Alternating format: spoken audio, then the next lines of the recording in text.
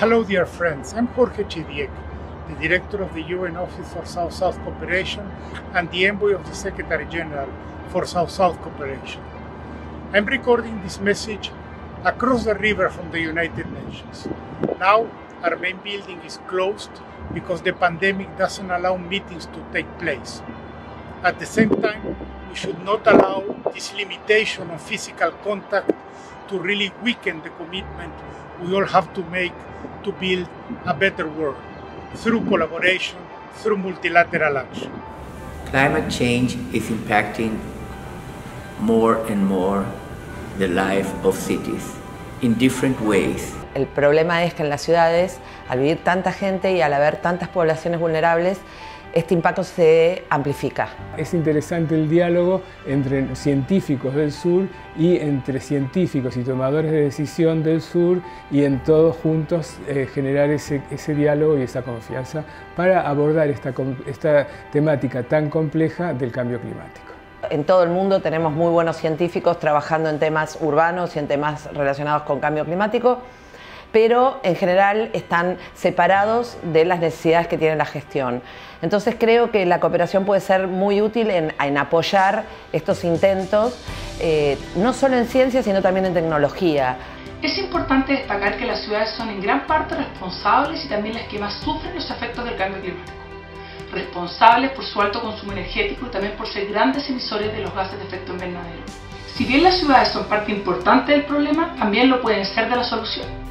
To help facilitate wider development outcomes, we should establish international forums and platforms, strengthen the training and publicity of low-carbon technologies and strategies to promote the experience and achievements of advanced cities. Eu acho que a cooperação sul-sul é fundamental para nós. Primeiro porque nós temos uma identidade, né, uma identidade de vulnerabilidade, uma identidade de um alto grau de desigualdade. Nós temos muito a fazer né, por, por nossa população, por os nossos países, e nós temos também muitas semelhanças. Todavía es necesario eh, reforzar los canales de cooperación sur-sur en la escala subnacional, ¿ya? de los gobiernos regionales y municipios, Eh, esto permitiría eh, relevar en las carteras de gobernadores y alcaldes ¿ya? la importancia de los objetivos de desarrollo sustentable para lograr su, su cumplimiento. More events should be hosted to exchange knowledge among developing countries regarding on technologies and experience that benefit green and sustainable urban planning and management.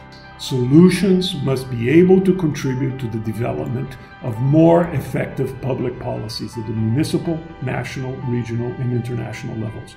South-South cooperation can help strengthen solidarity between cities in developing countries, um, in, including by helping them to address shared problems.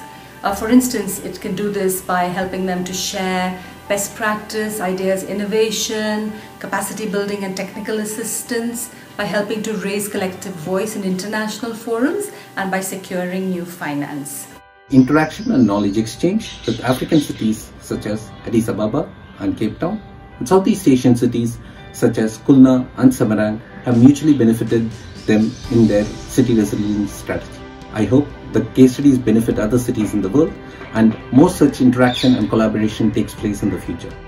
Looking ahead, cities will continue to face challenges from increasing urbanization. We're already seeing the pandemic, the COVID-19 situation, and climate change will only seek to intensify those efforts.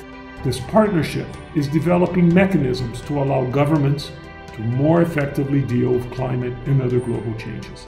It is able to benefit from the expertise and the on-ground knowledge available in the Global South and, when appropriate, build on triangular South-South cooperation. The work we are doing in cities is particularly relevant because cities are where development happens and the Secretary General says is the place where the battle for climate change will be won or lost.